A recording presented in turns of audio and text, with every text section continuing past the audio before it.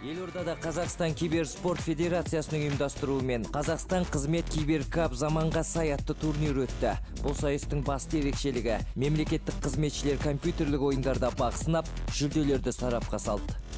Қазір трендтің бірі культураның бірі дейді ғой. Киберспорт қазір әлемде бүкіл ә, дамып жатқан заман. Сондықтан ә, шамалы сол сәйкес сәйкес болу үшін ойнап жүрміз. Әуесқойлар виртуалды футбол ойнап тактикалық басқару шеберліктерін шыңдады. Бұл елімізде өткен алғашқы турнир. Бұған дейін қазақстандық қызметкерлер тек оффлайн спорттық іс-шараларға ғана қатысқан болатын дейді ұйымдастырушылар. Ал қатысушылар болса киберспорттың заманға сай түрленіп жатқанын алға тартып ұсыныстарын да айта кетті. Алдағы уақытта біз қазақ тілді комментаторлар дайындауымыз қажетпіз өйткені қазақ тілді комментаторлардың бір жақсылығы бұл ертеңгі таңда бізге өскелең буынға жастарымызға бір үлкен өзінің бір септігін тигізеді. Өйткені енді көп жастар біздің қызығады ғой қарайды ғой матчтарды көреді.